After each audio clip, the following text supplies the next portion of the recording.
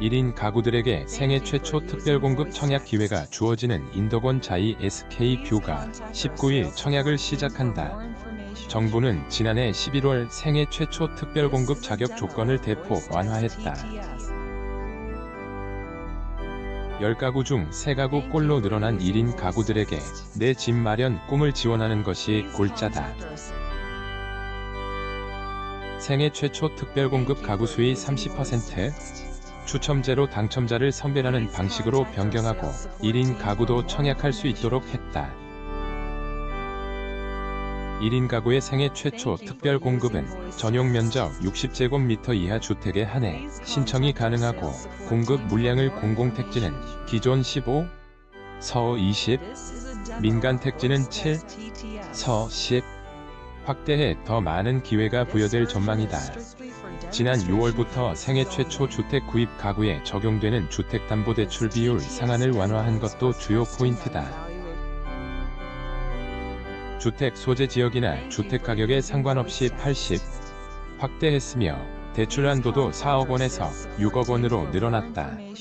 수도권에서 분양하는 단지의 생애 최초 특별 공급은 거주 제한이 없기 때문에 1인 가구들의 생애 최초 특별 공급 청약 지원은 더욱 활발해질 전망이다.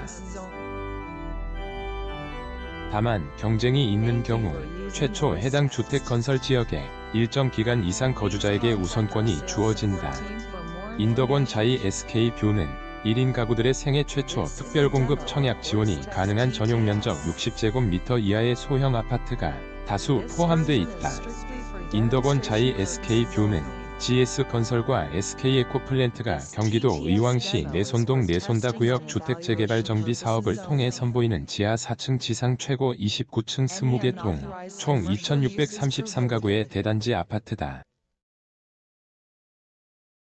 전용 면적 39에서 112제곱미터 899가구가 일반 분양인데 이중 63, 상위 소형 아파트다. 인덕원 자이 SK 뷰는 평촌 신도시와 인접해 있어 쇼핑시설과 은행, 병원, 대형마트 등의 생활 편의 시설 이용이 쉽다.